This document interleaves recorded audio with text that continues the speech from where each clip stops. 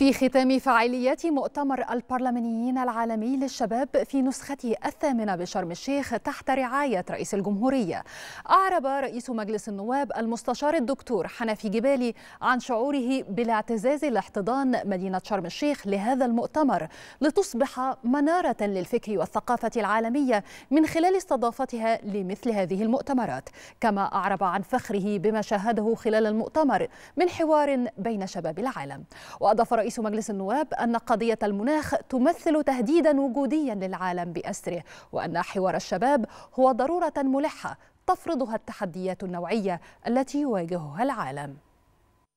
على مدار اليومين الماضيين تابعت بمزيد من الفخر والاعتزاز ما شهدته جلسات النسخة الثامنة من المؤتمر العالمي للبرلمانيين الشباب من حالة حوار من حالة حوارية راقية وبناءة بين شباب البرلمانيين من برلمانات العالم والخبراء وممثلي مؤسسات المجتمع المدني وهم يتبادلون الرؤى والخبرات فيما بينهم تجاه القضايا الأخطر عالمياً.